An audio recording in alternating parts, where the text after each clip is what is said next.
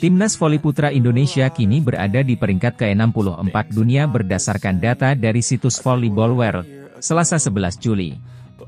Berdasarkan situs Volleyball World, skuad Merah Putih kini mencatat 41,34 poin. Indonesia berada di atas Kazakhstan yang jadi lawan di final 12 AFC Challenge Cup 2023, Rabu 12 Juli. Indonesia berada di peringkat ke-64, sedangkan Kazakhstan menduduki posisi ke-66 dunia. Dalam lingkup Asia, Indonesia berada di peringkat ke-13 dan posisi kedua di level Asia Tenggara di bawah Thailand. Negeri Gajah Putih saat ini menduduki urutan ke-62 dunia. Indonesia baru kembali masuk ke dalam perhitungan ranking pada pertandingan melawan Sri Lanka, Jumat 8 Juli lalu setelah terakhir kali dihitung poinnya pada 20 September 2019. Pertandingan melawan Sri Lanka di AFC Challenge Cup 2023 berkontribusi menambah 2,03 poin. Kemudian kemenangan atas Bahrain mendulang 1,03 poin. Di hasil terbaru kala melawan Kazakhstan, Indonesia mengawali permainan di Gymnasium University of Taipei, Taiwan, pada Rabu, 12 Juli 2023, siang WIB dengan baik. Farhan Halim dan kolega sukses merebut 7 poin pertama hingga unggul 7-0. Namun, Kazakhstan perlahan-lahan bangkit dengan mencuri 2 poin pada 2-9. Kazakhstan semakin mendekat Juli 11 dan akhirnya hanya berjarak 2 poin pada 14-16. Indonesia semakin keteteran dengan Kazakhstan sukses menyeimbangkan skor pada 18-18. Laga sengit terjadi karena skor selalu bisa imbang hingga 23-23 dan Farhan Halim memaksa DUC pada 25-25. Indonesia kerap berada dalam posisi tertinggal dalam perburuan poin-poin kritis. Namun, pada akhirnya sukses meraih kemenangan di set pertama dengan skor 30-28. Di set kedua, Indonesia sempat tertinggal 4-6 di awal. Namun, Rifan Nurmulki dan kolega mampu membalikkan skor menjadi 8-7. Laga sengit terjadi karena keunggulan Indonesia tidak pernah jauh hingga skor 18-16. Kazakhstan kemudian mampu menyeimbangkan skor menjadi 21-21, seakan mengulang situasi di set pertama. Namun demikian, Indonesia sukses merebut 3 poin beruntun hingga menjauh pada 24-21. Pada akhirnya, Indonesia menang dengan skor 25-21 di set kedua. Pada set ketiga, Indonesia sempat tertinggal 2-3 di awal. Namun, Farhan Halim dan kolega kembali mampu membalikkan skor hingga akhirnya unggul 4 poin pada 11-7. Indonesia semakin dominan sejak saat itu dengan unggul 15-11 dan kemudian 18-11. Kazakhstan berusaha mengejar, namun Indonesia sukses mempertahankan keunggulan 7 poin pada skor 20-13. Indonesia semakin dekat dengan kemenangan dengan mampu mempertahankan keunggulan 7 poin hingga 22-15. Pada akhirnya, Indonesia sukses lolos ke babak berikutnya usai menang 25-15.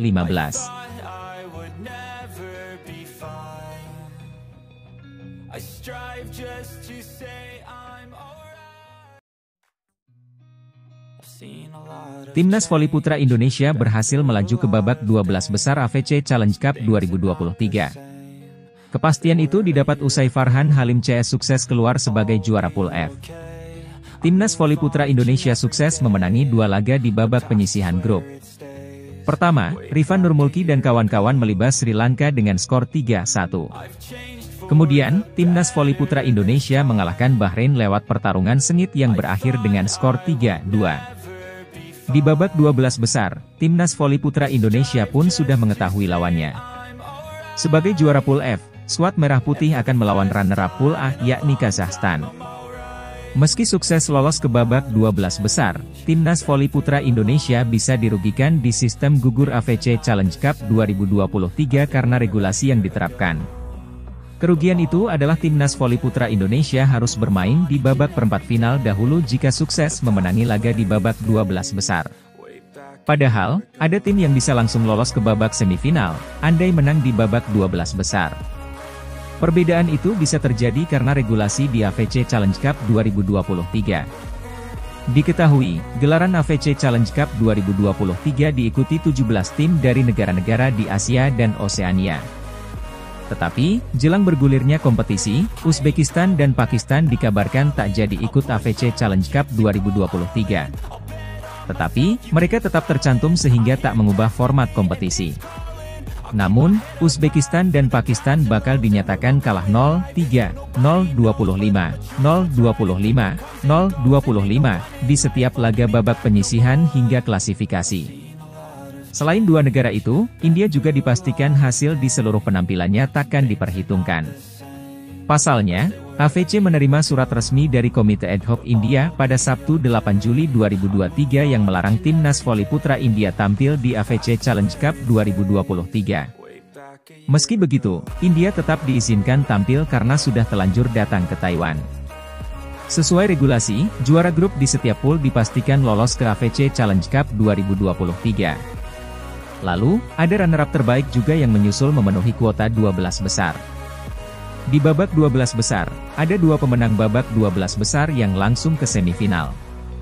Sementara itu, empat tim lainnya pemenang babak 12 besar harus bertanding lebih dahulu di babak perempat final. Timnas voli putra Indonesia pun dirugikan dengan regulasi itu.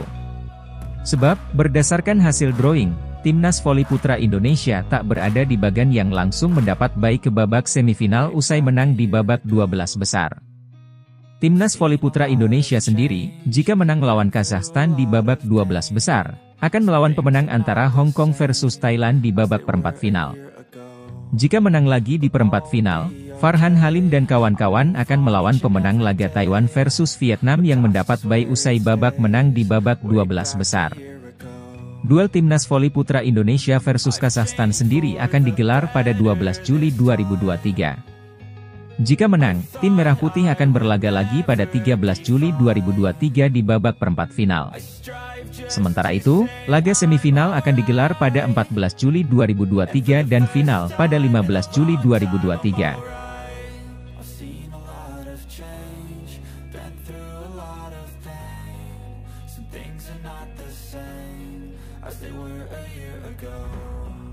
I move on each and every day. The past is where it stays. Way back a year ago.